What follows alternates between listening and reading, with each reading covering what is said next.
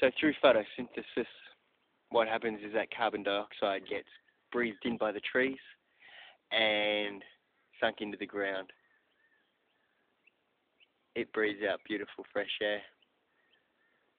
Now people are wanting to offset their travel and offset their lifestyle that they have and they really don't want to give up. Well, you can do that with me at $1carboncredits.com. And if you hang around and bookmark it, come back later, you'll also see with time, we're going to put in some cameras so you can enjoy watching the trees just as I have. We'll be in the forest, we'll be next to the forest, we'll be looking at the wind turbines producing beautiful green electricity all over the internet on $1carboncredits.com. We need your help first to get going. That's why we've got a fantastic special offer that you'll have to read about because it's too good to talk about.